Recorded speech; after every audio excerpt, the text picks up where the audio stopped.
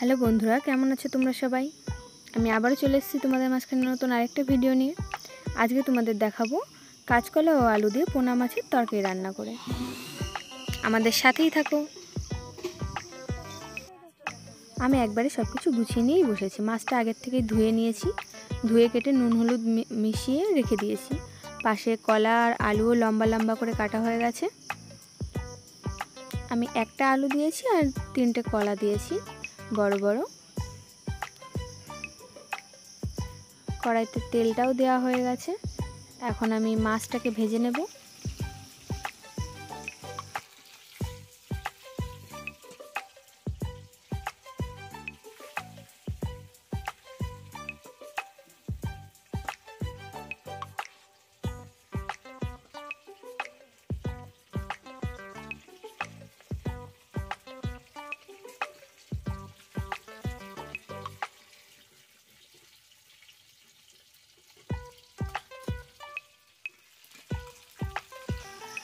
মাছটা একটু উল্টে পাল্টে দিচ্ছি আমি। আমরা মাছটা একটু কড়া ভাজা খাই তো তো পুরোপুরি লাল লাল না হওয়া অবধি উঠানো যাবে না।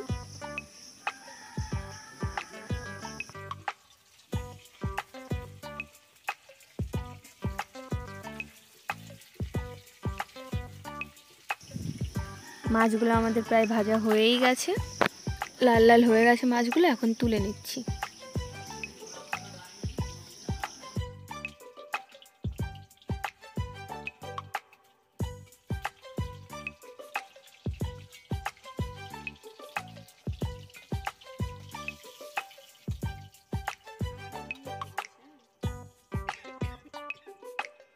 মাছ ভাজার পরে কড়াইতে আমার অনেকটাই তেল রয়েছে, তো আমি আলাদা করে আর তেল দিলাম না। এই তেলের মধ্যেই কেটে রাখা আলুগুলো ছেড়ে দিচ্ছি।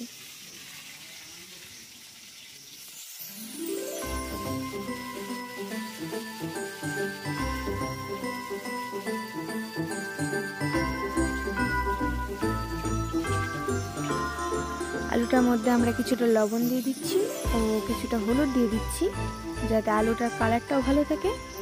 আর আলুতে নুনের পরিমাণটাও ঠিকঠাক থাকে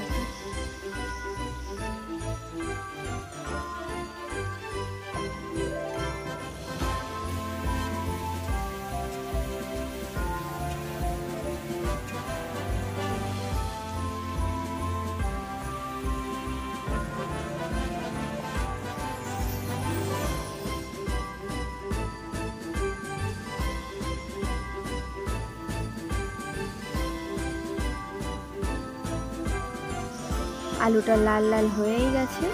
এখন আমি আলুটাকে তুলে নিচ্ছি। এবার কড়াইতে যে তেলটুকু রয়েছে, তার মধ্যেই আমি বাকি যে কলাগুলো রয়েছে কেটে রাখা, সেইগুলো দিয়ে দেব। এবার এই কলাগুলোকেও ঠিক একইভাবে নুন আর হলুদ দিয়ে ভেজে নেব। আমি দুটোকে আলাদা আলাদা করে ভেজে নিয়েছি। আপনারা যদি চান, তো একসাথেও ভেজে নিতে পারেন।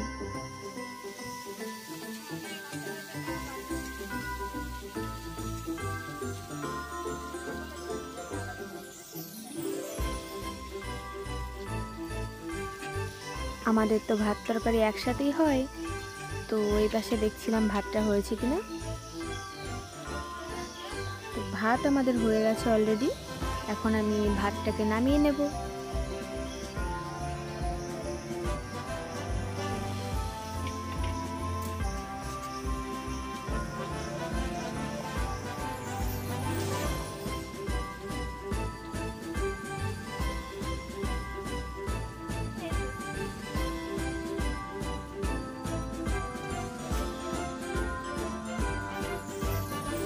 কলাটাও ভাজা হয়ে গেছে।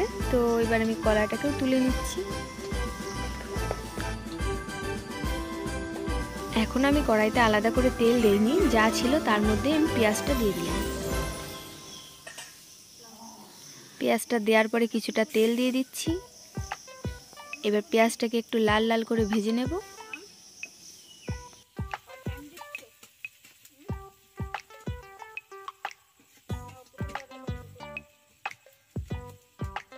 পেঁয়াজটা লাল লাল হয়েই এসছে, তো এর ভিতরে আমি টমেটোগুলোও দিয়ে দিচ্ছি। একটা টমেটো কেটে রেখেছিলাম, সেই টমেটোটা দিয়ে দিয়েছি। এবার টমেটো আর পেঁয়াজটা ভালো করে কষিয়ে নেব।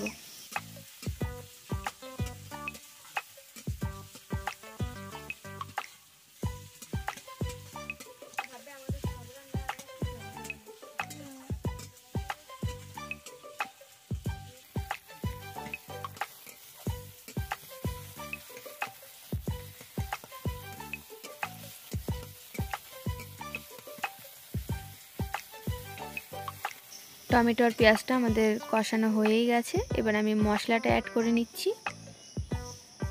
মশলাটাকে দিয়ে আরও কিছুটা টাইম ভালো করে কষাবো। এখানে পরিমাণ মতো লবণ দিয়ে দিলাম।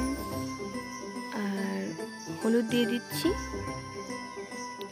এখানেও আমাদের লঙ্কার পরিমাণটা একটু বেশি আছে।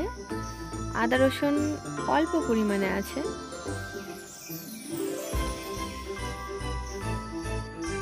আমি এখানে শুধু কাঁচা লঙ্কাটাই ইউজ করেছি। আপনারা চাইলে শুকনো লঙ্কাও দিতে পারেন দুটো।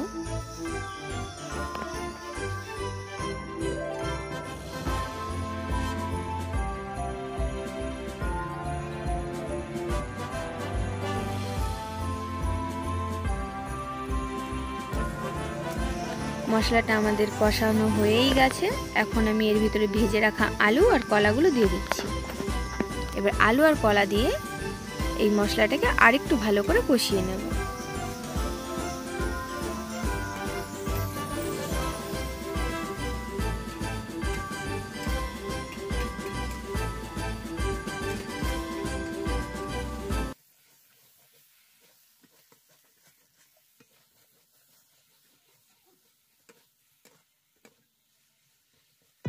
তো এটাও আমাদের সুন্দর কষানো হয়ে গেছে। এবার আমি এর ভিতর জল দিয়ে দেব।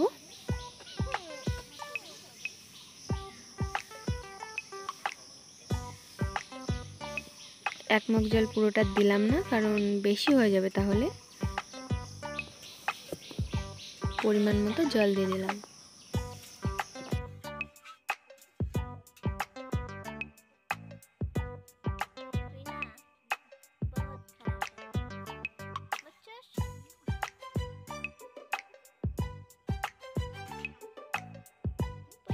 ওটা দেওয়ার পর আমি কিছু টাইম ঢেকে রেখে দিয়েছিলাম। এখন দেখছি আলুগুলো আর কলাগুলো গলেছে কিনা।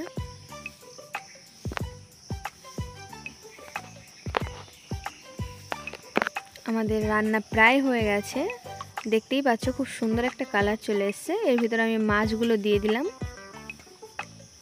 মাছগুলো দিয়ে আরও কিছুক্ষণ ফোটাবো। ব্যাস।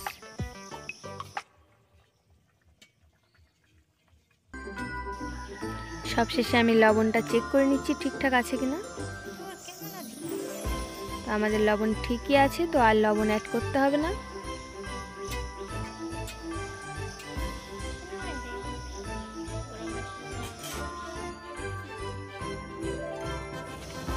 এখন আমি গরম মশলা দিয়ে দিচ্ছি তরকারির মধ্যে। ব্যাস, আমাদের রান্না কমপ্লিট